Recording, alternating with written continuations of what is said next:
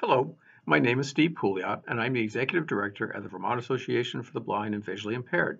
I've been with the agency for 29 years now, the last 21 as the Executive Director.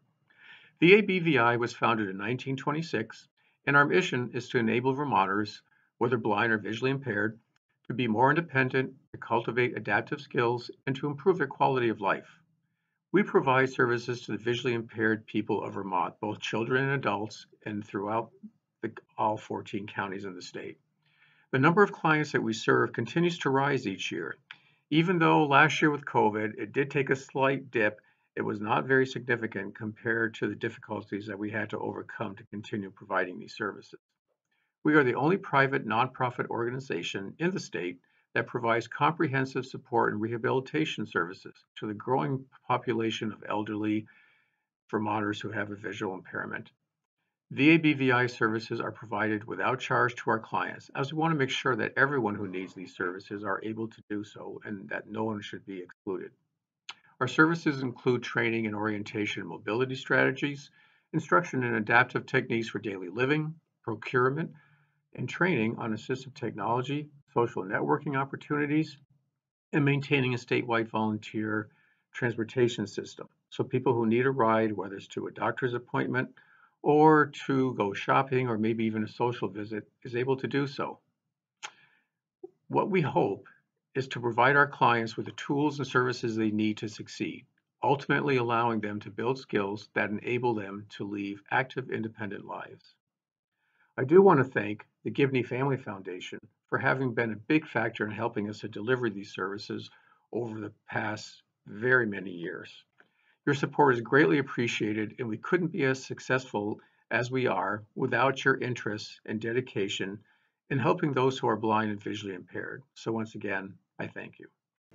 Hi, I'm Stephanie Bissonette, Director of Children's Services at the Vermont Association for the Blind and Visually Impaired. As you know, there's a national shortage of TVIs in the nation, and VAB has been actively recruiting Vermonters to enter the UMass Boston online training program for teachers of the visually impaired since its inception. To date, we have successfully recruited 10 Vermonters, including three in the past 12 months. Last year, March of 2020, two local women were accepted into the UMass TVI program, which covers approximately 80% of their tuition. VABVI devised an agreement to cover the remaining 20% of the tuition with a commitment for them to work for VAB for four years after graduation. We've also created a new apprentice program which will allow us to hire these two Vermonters before they officially finish their coursework by heavily mentoring them as they take on more and more responsibilities with a caseload over a, five month period of time. Approximately 40 children will be impacted by VAB being fully staffed, and our staff will no longer have to work overtime to get to these students. I'm excited to tell you that we recruited a third Vermonter to start his TVI work at UMass Boston in May of 2021. We are very grateful for the Gibney Foundation grant for helping us recruit local Vermonters into the program, which allows VABVI to maintain our gold standard of services to children with visual impairments throughout the state of Vermont. Thank you. Hey, my name is Allison Hampson, and I live and work in South Burlington at the high school, which is where I met a very inspiring student and her TVI. So when I saw the opportunity for tuition reimbursement to become a TVI, I jumped right on it. It's a tremendous opportunity, and I'm thankful for that.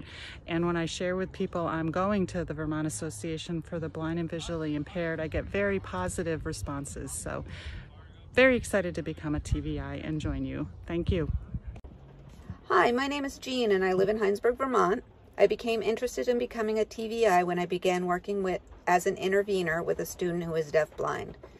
I took graduate courses in deafblind studies paid for through my school district. After working for a few years with this student, I knew I wanted to continue within this field. I always wanted to complete a master's degree but did not have the funds available. Having the tuition reimbursement agreement with VABVI was key to my enrolling in the Vision Studies graduate program at this point in my life. I've enjoyed working with the TVIs and O&Ms from VABVI who have worked with my student. I am thrilled to have this opportunity and I look forward to working with everyone at VABVI. They have all been extremely supportive. Thank you.